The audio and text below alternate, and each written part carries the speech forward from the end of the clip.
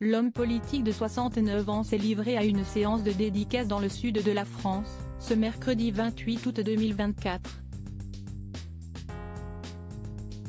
L'événement littéraire s'est tenu à Sifour-les-Plages en Provence-Alpes-Côte d'Azur et juste avant de signer des livres, Nicolas Sarkozy s'est exprimé face à toute l'assemblée venue le voir.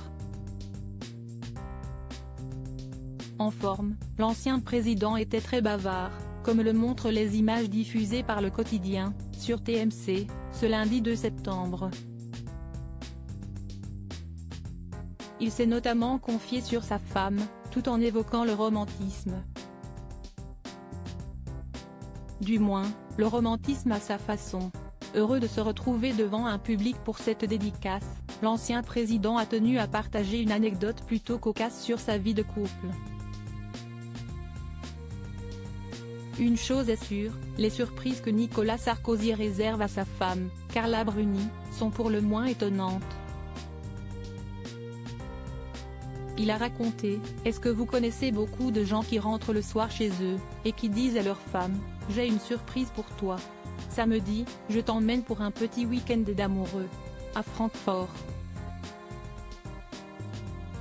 Une histoire qui a fait rire toute l'assemblée.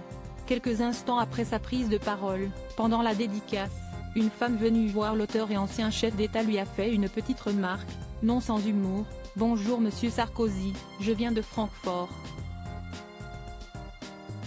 Vous n'avez pas fait plaisir à ma ville. » Ce à quoi il a répondu, « Je n'ai pas été désagréable. » Supérieur à supérieur à Nicolas Sarkozy, premier fan de Carla Bruni, il se donne à fond dans le public. Un ancien président très apprécié pendant l'événement, nos confrères de Quotidien ont révélé plusieurs déclarations adressées à Nicolas Sarkozy. Une personne lui a déclaré, « La France a besoin de vous Monsieur le Président ». Une autre lui a dit, « Vous nous manquez beaucoup ». Un homme n'a pas pu s'empêcher de faire un petit tacle aux autres présidents qui ont suivi après le mari de Carla Bruni et a lancé « Vous nous manquez bien quand on voit les deux guignols qui vous ont succédé ». Une remarque qui a fait rire toutes les personnes autour d'eux. La dédicace était un événement purement littéraire et l'ancien chef d'État a refusé de répondre aux questions liées à la politique des journalistes de TMC. Article écrit avec la collaboration de 6 médias. Crédit photo, Dominique Jacovide.